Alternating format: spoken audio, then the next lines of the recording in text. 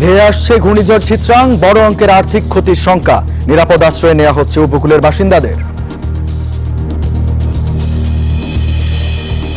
নকল স্বর্ণের বারসহ অবৈধ মালামাল বিক্রি চক্রের দশ জন গ্রেপ্তার। সাধারণ মানুষকে আরও সতর্ক হওয়ার পরামর্শ ডিবির। এবং সোয়া তিন ঘণ্টা লেনদেন বন্ধ ডিএসসিতে ব্যবস্থা নিতে তদন্ত কমিটি গঠন নিয়ন্ত্রক সংস্থার। ছাড় না দেওয়ার পরামর্শ বিশেষজ্ঞদের।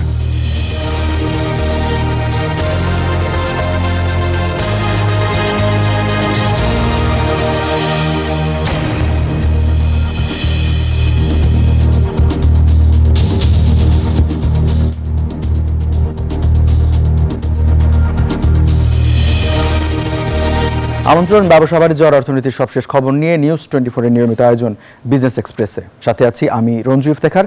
এতক্ষণ শিরোনাম শুনছিলেন, এবার বিস্তারিত। মধ্যরাতের আগেই আঘাত হানতে পারে ঘূর্ণিঝড় চিত্রাং যার উৎপত্তি পূর্ব মধ্য বঙ্গোপসাগরে সৃষ্ট হওয়া একটি লঘুচাপ থেকে।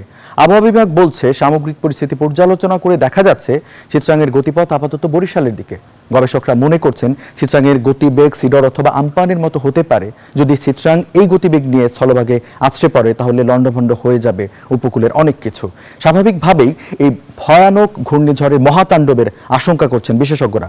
এক্ষেত্রে উপকূলীয় এলাকায় প্রায় পনেরো থেকে বিশ ফুট পর্যন্ত জলোচ্ছ্বাস হতে পারে হতে পারে বড় অঙ্কের আর্থিক ক্ষতি। বিশেষ করে ফসলি জমি, মাছের ঘের, গবাদি পশু, ঘরবাড়ি ক্ষয়ক্ষতি হওয়ার আশঙ্কা করছেন বিশেষজ্ঞরা। দর্শক, চিত্রাঙ্গের সবশেষ পরিস্থিতি জানাতে আমাদের সাথে চট্টগ্রাম থেকে যুক্ত হচ্ছেন সহকর্মী শেখ জায়েদ। শেখ জায়েদ ঘূর্ণিঝড় চিত্রাঙ্গের সবশেষ পরিস্থিতি কি এবং কি পরিমাণ ক্ষয়ক্ষতির আশঙ্কা করা হচ্ছে?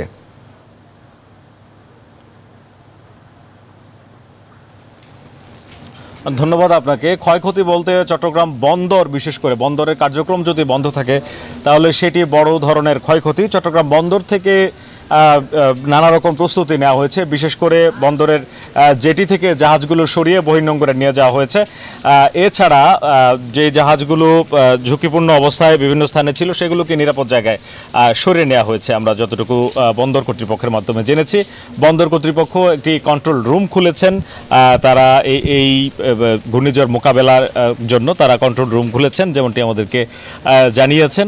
এছাড়া বন্দরের যে অন্যান্য যেই ইকুইপমেন্টগুলো রয়েছে সেগুলোকে নিরাপদ করার জন্য সেগুলোকে প্যাক করা হয়েছে প্যাকিং করে রাখা হয়েছে যেন ঘূর্ণিঝড়ের কারণে কোনো ধরনের ক্ষয়ক্ষতি বা বড় ধরনের কোনো কিছু না হয় সেটির জন্য কিন্তু এগুলো নিরাপদে রাখা হয়েছে। এছাড়া তারা যেটি আমাদেরকে বলেছেন যে ছয় নম্বর সতর্কতার সংকেত যেটি বলবৎ রয়েছে এই সতর্কতার সংকেত চলা অবস্থা অর্থাৎ ঘূর্ণিঝড়টি যদি অতিক্রম করে চলে যায় তার পরবর্তীতে বন্দরে এই যে পণ্য ওঠানামা আহ, পণ্য খালাস। এই কাজগুলো যে বন্ধ আছে, এগুলো শুরু করা হবে কিনা, সেটি তারা পর্যালোচনা বৈঠক করে পরবর্তীতে তারা সিদ্ধান্ত নেবেন যে আসলে কোন পরিস্থিতি, কোন পর্যায়ে এলে তারা এই কার্যক্রম শুরু করবেন।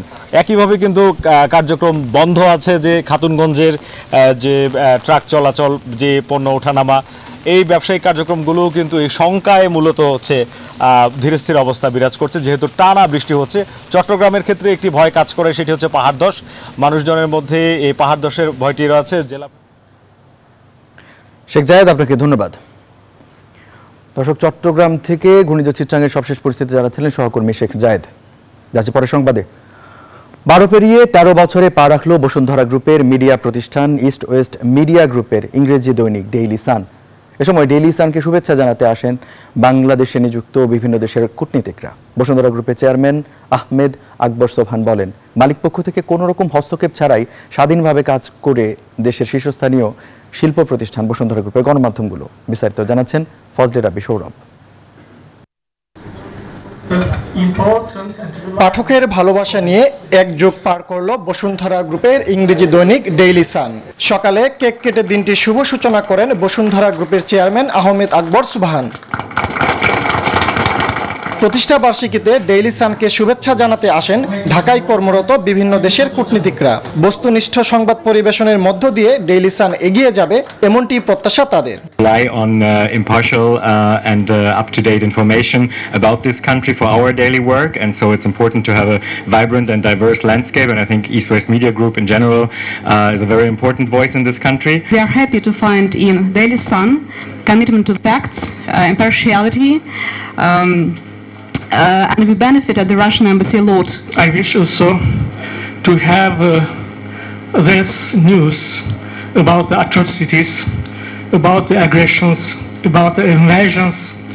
I wish you to have a more peaceful They were the most proactive media which is promoting Korea-Bangladesh relations. এক পূর্তিতে পত্রিকার সাফল্যের পেছনে কাজ করা এর পৃষ্ঠপোষক পাঠক ও সহকর্মীদের প্রতি কৃতজ্ঞতা জানান পত্রিকাটির সম্পাদক এনামুল হক চৌধুরী। সর্ব সার্বিক সহযোগিতা না পেলে টেলিচার আজকের এই অবস্থানে আসতে পারত না।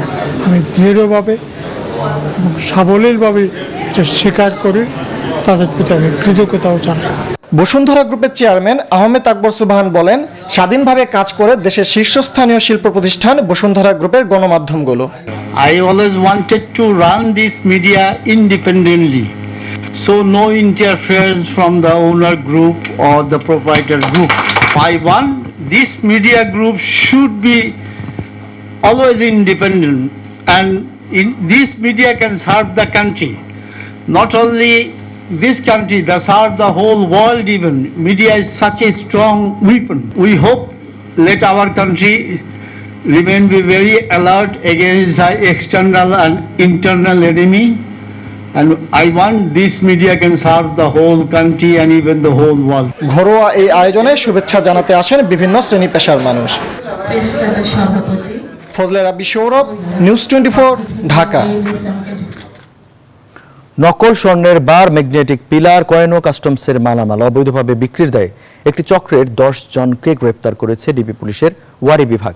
ডিবি জানায়, বিমানবন্দর থেকে উদ্ধার করা স্বর্ণ কম দামে বিক্রির প্রলোভন দেখিয়ে সাধারণ মানুষকে ফাঁদে ফেলত চক্রটি। বিস্তারিত মাসুদা লাবনীর প্রতিবেদনে। পিতল বা তামা, আগুন ও কেমিক্যাল দিয়ে গলিয়ে এভাবেই বানানো হয় নকল স্বর্ণের বার। বোঝার উপায় নেই, এগুলো নকল বার। বসানো হয় কোট নম্বরও। এমন কাজ করে আসছিল একদল প্রতারক। এই চক্রের দশ জনকে গ্রেফতার করেছে ডিবি পুলিশের ওয়ারি বিভাগ। জব্দ করা হয়েছে নকল স্বর্ণের বার ও বার তৈরির সরঞ্জাম। জনের এই প্রতারক চক্রের কেউ পরিচয় দেন মেজর, কেউ কেমিস্ট, কেউ আবার বিজ্ঞানী। আছেন কাস্টমস কর্মকর্তা পরিচয় দেয়া প্রতারক ও মার্কেটিংয়ের লোকও। সোমবার দুপুরে ডিএমপির মিডিয়া সেন্টারে সংবাদ সম্মেলনে গোয়েন্দা পুলিশের যুগ্ম পুলিশ কমিশনার সঞ্জিত কুমার রায় জানান, ভাটারা ও বিমানবন্দর থানার প্রতারণার মামলা তদন্ত করতে গিয়ে পাওয়া যায় এই প্রতারক চক্রের সন্ধান। তারা প্রদর্শন করে এইভাবে যে আমাদের স্বর্ণের বারটা এখানে নিয়ে আসলে তারা সার্টিফিকেট দেয়, এটা আসলে আসল স্বর্ণ। কিন্তু এটা নিজস্ব মানে পরমাণু বিজ্ঞানীর নিজস্ব কেমিস্ট, ভুয়া মানে রিপোর্ট প্রদান করে, সার্টিফিকেট প্রদান করে তাদেরকে প্রতারণা করতেছে। সংবাদ সম্মেলনে জানানো হয় চক্রের কেউ করেন ক্রেতা সংগ্রহ। কেউ আবার কেমিস্ট বা বিজ্ঞানী সেজে নকল স্বর্ণ ও ম্যাগনেটিক পিলারকে দেন আসলের সার্টিফিকেট। সুন্দর একটা ডায়া তৈরি করেছে এবং ডায়ার ভিতরে পিতলটা গলিয়ে দিলে এবং এর নম্বর সহ আমাদের যে international code number bar code নাম্বারের মতো তারা এই এই ডায়াটাতে দেয়া আছে এটা গলিয়ে যখন দেয়া হয় শুধু বার কোড নাম্বার সহ বেসে আসে মনে হয় যে দেখতে একেবারে অরিজিনাল আসলে এটা নকল। চক্রটি এগারো কোটি টাকা প্রতারণা করে হাতিয়ে নিয়েছে বলেও জানায় ডিবি পুলিশ। গোয়েন্দা এই word Masuda Laboni news twenty Dhaka. Director admin দর্শক বিজনেস এক্সপ্রেসে সময় হলো একটা বিরতির ফিরবো আরও খবর নিয়ে।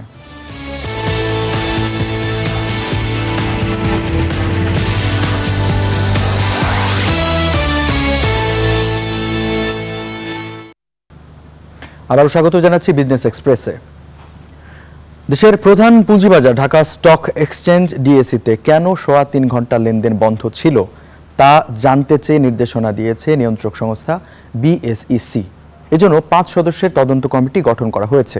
নির্বাহী পরিচালক সাইফুর রহমান স্বাক্ষরিত নির্দেশনায় বলা হয়েছে। ত্রিশ কার্যদিবসের মধ্যে কারণ জানাতে হবে নিয়ন্ত্রক সংস্থাকে। এদিকে লম্বা সময় লেনদেন বন্ধ থাকায় দুঃখ প্রকাশ করেছে ডিএসই কর্তৃপক্ষ, যেখানে ট্রেডিং সিস্টেমে কারিগরি ত্রুটিকে দায়ী করা হয়েছে। তবে বাজার বিশ্লেষকরা বলছেন, লেনদেন বন্ধ থাকার ঘটনায় কারও দায় থাকলে তার বিরুদ্ধে ব্যবস্থা নেয়ার সুস্পষ্ট নির্দেশনা রয়েছে আইনে। এদিকে ডিএসইতে লেনদেন হয়েছে মাত্র পৌনে দুই ঘণ্টা, তাতে লেনদেন নেমে এসেছে তিনশো চৌত্রিশ কোটিতে। অল্প সময়ের লেনদেনেও ডিএসইর প্রধান সূচক খোয়া গেছে ছত্রিশ point. Security exchange ordinance nineteen sixty section six এবং সেকশন সেভেন অনুযায়ী যদি ইভেন এক্সচেঞ্জেও কোনো ভায়োলেশন হয়ে থাকে এক্সচেঞ্জের রেজিস্ট্রেশন ক্যান্সেল করে দিতে পারে বা যে কোনো ডাইরেক্টর যদি ইনভলভ থাকে, তাকে রিমুভ করতে পারে, যদি বোর্ডকেও সম্পূর্ণভাবে রিমুভ করে দিতে পারে। এবং demutualization act two thousand thirteen অনুযায়ী সেকশন টোয়েন্টিতে বলা আছে স্পেসিফিকলি যদি এক্সচেঞ্জকে ফাইন করতে চায়, তাহলে টেন লাখ টাকা করতে পারবে।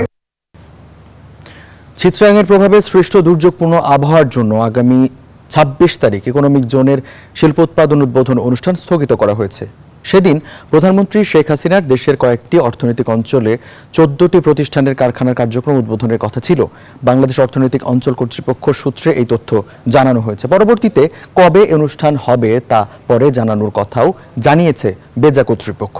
এর আগে রোববার গণমাধ্যমের সাথে মতবিনিময় করে এ বিষয়ে বিস্তারিত ব্যাখ্যা তুলে ধরেন বেজার নির্বাহী চেয়ারম্যান ইউসুফ হারুন। তিনি দাবি করেন বঙ্গবন্ধু ইকোনমিক জোনে গ্যাস, বিদ্যুৎ, পানি সহ সব ধরনের সুবিধা নিশ্চিত করা হয়েছে।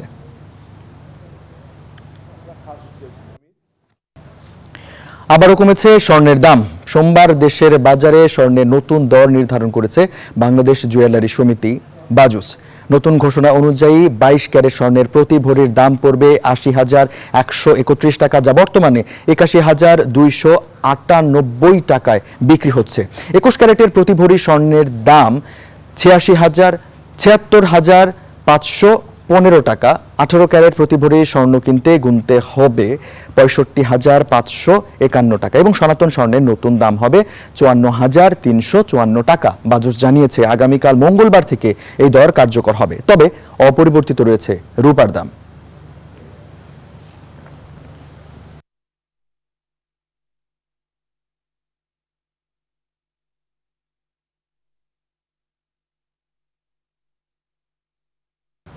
দর্শক এবার জানাতে চাই মুদ্রা বাজারের আপডেট ও দরদাম।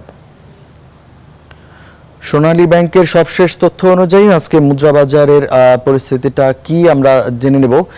মার্কিন ডলারের ক্রয় মূল্য হচ্ছে একশো সাত টাকা এবং বিক্রয় মূল্য একশো সাত টাকা পঞ্চাশ পয়সা। ইউরোর ক্রয় মূল্য একশো আট টাকা এবং বিক্রয় মূল্য একশো বারো টাকা পঞ্চাশ পয়সা, পাউন্ডের ক্রয় মূল্য একশো একুশ টাকা দশ পয়সা, বিক্রয় মূল্য পাউন্ডের একশো পঁচিশ টাকা পঞ্চাশ পয়সা। চীনা ইউয়ান বারো টাকা ক্রয় মূল্য এবং বিক্রয় মূল্য হচ্ছে চোদ্দ টাকা পঞ্চাশ পয়সা। সৌদি রিয়ালের ক্রয় মূল্য সাতাশ টাকা আশি পয়সা, বিক্রয় মূল্য উনত্রিশ টাকা পঞ্চাশ পয়সা। ভারতীয় রুপি এক টাকা পঁয়ত্রিশ এক টাকা পঁয়ত্রিশ পয়সাতে কিনতে হবে এবং বিক্রি করতে হবে এক টাকা চল্লিশ পয়সা। দর্শক জানালাম মুদ্রা বাজারের আজকের সবশেষ খবর। শেষ করার আগে শিরোনামগুলো আরেকবার।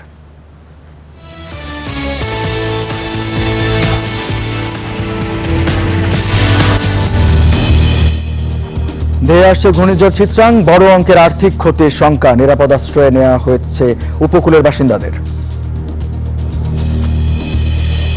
নকল স্বর্ণের বার সহ অবৈধ মালামাল বিক্রি চক্রে দশ জন গ্রেপ্তার। সাধারণ মানুষকে আরও সতর্ক হওয়ার পরামর্শ ডিবির। এবং সোয়া তিন ঘণ্টা লেনদেন বন্ধ ডিএসিতে ব্যবস্থা নিতে তদন্ত কমিটি গঠন নিয়ন্ত্রক সংস্থার। ছাড় না দেওয়ার পরামর্শ বিশেষজ্ঞদের।